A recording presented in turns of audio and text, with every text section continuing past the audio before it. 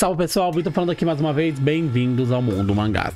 Hoje vim trazer para vocês um vídeo que é para mostrar detalhes do lançamento da JBC que é Alice in Borderland. Sim, vou mostrar para vocês com detalhes, vou mostrar como que está essa edição e como vocês sabem, mais tarde sai a review, tá? Então assistam, tem algumas coisas para falar sobre esse mangá, principalmente a qualidade dele, que só de olhar assim já dá para ver que... Olha, vamos lá. Mas antes de começar o vídeo, eu peço para vocês se inscreverem no canal, compartilharem o vídeo e seguirem a gente nas redes sociais, links estão na descrição. Também virem membro, 4,99, você vai ter várias vantagens como sorteio do final de mês, grupos exclusivos no WhatsApp, vídeos antecipados, 4,99 clicando aqui embaixo, seja membro, ou então virando membro Pix me chamando no Instagram do canal. Também tem a loja Mundos Infinitos, está com essa promoção incrível, é o último dia dela, aproveitem descontos progressivos, comprem hoje que é o dia limite e é um desconto bem legal. Entrega rápida, embalagem perfeita, link de cupons. E se fizer alguma compra, use o mesmo link que vai ajudar bastante, tá bom? Também tem o link da Amazon. Se for fazer alguma compra na Amazon, use o link do canal que está na descrição. E também eu tô deixando o Instagram do canal passando aí. Sigam o canal, logo logo vou lançar uma promoção para vocês lá no Instagram, então aproveitem para seguir o canal também, ok? Link na descrição também. Dito tudo, bora lá que eu vou trocar de câmera e vou mostrar para vocês como que está essa edição de Alice in Borderland que eu tenho algumas coisas para falar, gente. Vocês sabem que eu sou sincero, então vamos lá, quero falar um pouquinho sobre esse mangá com vocês. Então, pessoal, vamos ver agora como que ficou a qualidade do mangá em si, tá? Alice in Borderland tá aqui na minha mão. Pode ver que a capa eu não gostei tanto, eu não achei a capa tão bonita assim. Esse cinza aqui nas laterais, com esse número, era para simular uma carta de baralho. Né? Mas eu não achei ela tão bonita assim. Mas é um gosto pessoal. Muita gente vai achar ela bonita, não tem problema nenhum, né? Bom, aqui a gente pode ver que tem o nome do autor, Haruaço. Aí tem o volume 1 aqui, como se fosse uma, um naipe de baralho. Aí tem aqui o personagem principal. Alice in Borderland, pode ver que é uma cidade. E o símbolo da JBC aqui, né? A lombada é uma lombada também. A lombada achei até que bonitinha, tá? Mas, sei lá. Ó, número 1, volume 1, Alice in Borderland, o nome do autor. E de novo aqui, JBC, né? E a parte de trás também é a mesma coisa. Nós temos aqui um cara com máscara de cavalo e uma metralhadora né, na mão. Alice Borderland. Aqui nós temos uma sinopse, só que essa sinopse, meu, a sinopse está com as letras em cinza no, numa foto, né, numa imagem de uma cidade. Isso aqui não dá nem para ler direito, sinceramente, tá bem complicado ler, que até por uma divisão ser difícil, mas é a opção que eles fizeram, né? JBC e aqui está o código de barra do mangá. Esse mangá ele é recomendado para maiores de 18 anos, tá? Porque ele contém violência e tudo mais. E o tamanho dele é 13 por 2 por 20. Então ele é um pouco, acho que é um pouco menor do que um Tanko, se eu estiver enganado, tá? Mas está aqui o material em si. Abrindo ele, vai vir um problema. Uma que essa capa, ela fica, se você deixa muito tempo, ela ficar levantada toda. Eu, eu tive que amassar a capa para ela poder voltar ao normal. Ó, pode ver que essa primeira página aqui tá grudada aqui. Nem vou fazer muita força porque é capaz de soltar. Ó, o papel é o pólen natural. Vamos lá. Eu gosto desse papel, eu estava gostando mais. Só que eu fui ver depois que talvez tenha um problema esse pólen natural no futuro. Porque como ele é muito amarelado, talvez ele pode estragar mais rápido. Eu não sei, tá? Eu não sei. Eu vou ver, tá? Depois vou dar uma, uma pesquisada melhor para saber como que funciona esse papel aqui, só que ele é bem amarelado. E se a gramatura não tiver boa do mangá, vai dar problema, tá? Aí a imagem, os desenhos fica meio estranho, né? Ó, pode ver que tem quem lê o mangá sabe o que significa essas luzes aqui indo nessa cidade, então, OK. Aqui, vamos lá. Primeira coisa, sumário. O sumário, o primeiro volume tem nove capítulos, tá? Então são mais de 300 páginas esse mangá, porque ele é dois em um.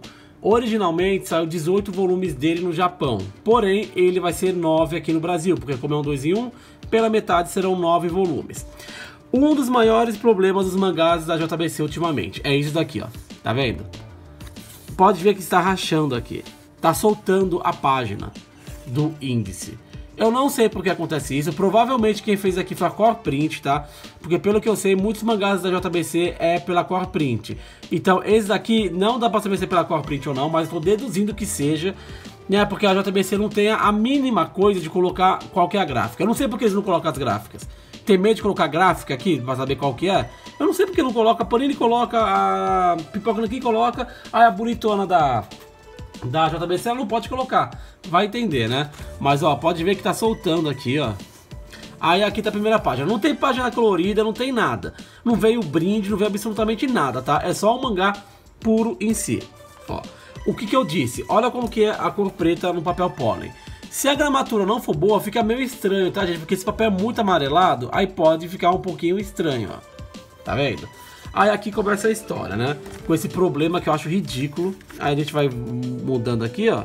Aí começa aqui o primeiro capítulo, ó. Capítulo 1, Alice in Borderland. Aí vai mudando e vai aparecendo aqui, ó. Ó, você tá vendo? Aí é complicado. Aí começa aqui. Aí vai passando aqui cada volume, tá? Lembrando que é o papel poli natural 70 gramas. Ó, pode ver que ele passa.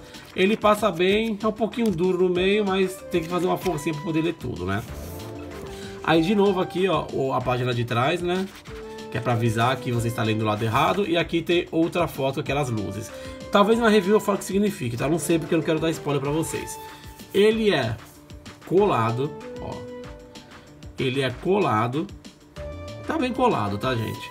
E olha como que a capa já fica aqui, ó. É isso que eu tô te falando. E ela consegue ficar bem mais ainda. Mas aqui está o material em si, tá? Pode ver, ele passa, ele passa bem, tá? Deixa eu focar aqui pra vocês, ó. Ele tá passando bem, mas ele ainda fica duro, ó. Pode ver que ele não desce tudo. Olha, gente, eu, eu vou ser bem sincero com vocês, tá bom? Eu sei que esse mangá é um 2 em 1. Um. Eu sei que ele está mais barato do que se por acaso fosse lançado um Tanko. Porque aí o Tanko da JBC provavelmente ia ser uns 38, 40 reais cada volume desse. O valor de capa dele é 54,90. Só que eu acho que a JBC ela poderia começar a fazer um trabalho um pouquinho melhor. Tá? A história, eu vou falar na história para vocês mais tarde o que eu achei da história. Mas a qualidade do mangá, ela é de ok para baixo. E ele custa R$ 54,90. Porque é dois tancos em um. E eu não consigo entender como que a JBC consegue fazer vários materiais duvidosos, principalmente nesse quesito. Meu, a gente, os mangás estão ficando caros, mangás estão caros, querendo ou não. Só que as editoras precisam começar pelo menos ter uma qualidade boa no mangá. Precisa pegar os mangás e fazer uma qualidade ok, uma qualidade melhor. As, a qualidade dos mangás está vindo muito ruim. Sabe, e esse mangá custa R$54,90, eu sempre vou bater nessa tecla. Não veio brinde, não veio uma capagem, não veio absolutamente nada. A JBC ela tá nem aí para os consumidores, vamos falar a verdade, né? Não é só pelo Alice Border, é por causa de outros mangás também. Tem mangás muito piores do que o Alice. Eu elogio a JBC pelas reimpressões que ela está fazendo. Eu acho muito legal a JBC trazer muitas reimpressões. Só que um mangá tão esperado como Alice in Borderland podia ter vindo um material um pouquinho melhor. Né? Poderia ter vindo um material um pouquinho melhor. Eu não estou falando que tá péssimo o mangá, só que tá ok para baixa. E isso daqui, essa, essas essa capa cartão que fica envergando, isso daqui de, de, página ficar saindo. Meu, isso daqui é uma vergonha pro mangá. Desse preço. Sabe? Então, essa daqui é a qualidade do mangá. Esse papel pólen muito amarelado. Eu não sei o que vai acontecer no futuro dele. Tá? Eu não sei como vai ser. Pode ver que isso aqui fica no saquinho, tá ondulado já. Tá? Olha isso aqui. Bom, 54,90 esse mangá, tá? Mas eu quero saber a opinião de vocês. O que vocês acharam do material? Vocês compraram? O que vocês acharam da qualidade do material em si? Comenta aqui embaixo que eu quero saber a opinião de vocês sobre esse material, tá bom? Mais tarde à noite vai sair, tá? O, a review para vocês, que eu vou falar o que eu achei. Mas, ó, sei lá, o material não, não tá agradando muito, tá bom? Mas comenta aqui embaixo, tá bom? Tá passando um dos membros para quem agradeço bastante, pessoal. Muito obrigado para quem ficou até aqui. Valeu e fui.